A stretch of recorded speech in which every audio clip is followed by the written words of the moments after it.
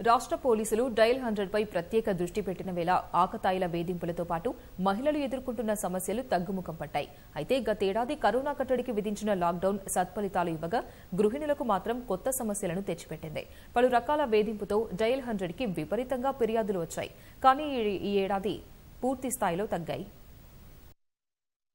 గతేడాది కరోనా కట్టడికి విధించిన లాక్డౌన్ వల్ల చాలా మంది ఉపాధి కోల్పోయి ఇంటి పట్టునే ఉన్నారు. చిన్న తరహా వ్యాపారాలు మూతపడ్డాయి. ఆర్థిక సమస్యలు చుట్టుముట్టాయి. దీంతో కుటుంబాల్లో కలహాలు మొదలయ్యాయి. చినికి చినికి గాలివానగా మారి పెద్ద గొడవలకు దారితీశాయి. ఫలితంగా బాధితులు డైల్ హండ్రెడ్ను ఆశ్రయించారు. మహిళలపై మందుబాబుల వేధింపులు కూడా ఎక్కువయ్యాయి. ఫలితంగా నగరంలో డైల్ హండ్రెడ్కు ఫిర్యాదులు పెరిగాయి. కేసుల్లో ఎక్కువగా గృహిణులపై వేధింపులు బ్లాక్ మెయిలింగ్ వరకట్నం వేధింపులు ఉన్నట్లు పోలీసులు చెబుతున్నారు. కానీ ఈ ఏడాది కేసులు గణనీయంగా తగ్గినట్లు వెల్లడించారు.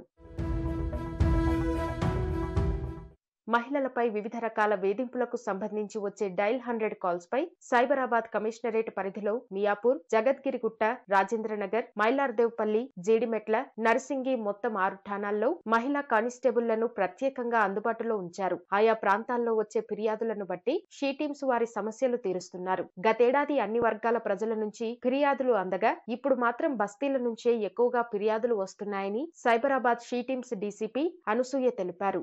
లాస్ట్ ఇయర్ లాక్డౌన్లో మే నుండి మనము కానీ చూసుకుంటే మే టు ఆగస్టు లోపు తొమ్మిది వేలు అంటే ఎనిమిది వేల తొమ్మిది వందల తొంభై నాలుగు డయల్ హండ్రెడ్ కాల్స్ రావడం జరిగింది. ఈ పర్టికులర్లీ ఈ ఆరు పోలీస్ స్టేషన్ పరిధిలోనే మొత్తం అన్నీ కాకుండా ఫస్ట్ లాక్డౌన్ కాబట్టి అందరు కూడాను ఇళ్ళకే పరిమితం అవటం వల్ల చాలా రకాలుగా ఇబ్బందులు పడటం జరిగింది. దానివల్ల మనకి కాల్స్ కూడా చాలా వచ్చినాయి అనమాట అవన్నీ ప్రాపర్గా ఈ డయల్ హండ్రెడ్ టీమ్ వాళ్ళు వెళ్ళి అవన్నీ అటెండ్ అవటం జరిగింది. ఈ ఇయర్లో కూడా పెట్టిన లాక్డౌన్ మనకి మే టెన్త్ నుండి కానీ తీసుకుంటే దగ్గర దగ్గర ఇప్పుడు నెల రోజులైంది. ఈ నెల రోజుల్లో మనకి దాంతో పాత రికార్డ్తో కానీ మనం కంపేర్ చేస్తే చాలా తగ్గినాయి ఈసారి.